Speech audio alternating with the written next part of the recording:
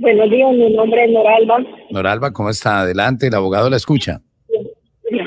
Eh, yo tenía una, una cita pendiente con mi para lo de la justo por estos días me fui para Israel y después me llegó otra citación, pero me llegaba para que yo me presentara el 7 a migración y el sobre me llegó el, el 14.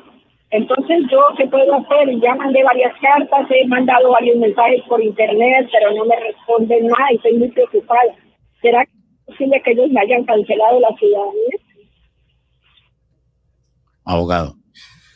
Entonces, eh, por lo que pude entender, estaba de viaje y, le habían pautado una cita para, para la ciudadanía y no pudo asistir. Y luego volvió, le dieron la cita para un día, pero la citación ella la vio siete días después y ahora pues ha estado comunicándose, pero no recibe respuesta.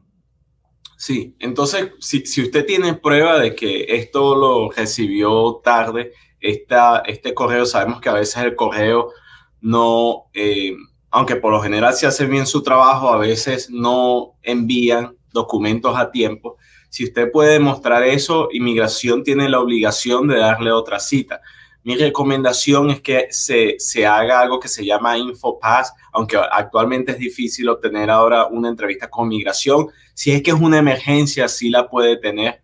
Esto es algo que la pudiéramos ayudar, pero trate de agilizar esto lo más pronto posible para que usted no tenga que volver a someter otra aplicación de la ciudadanía y tenga que esperar otro año más para este proceso.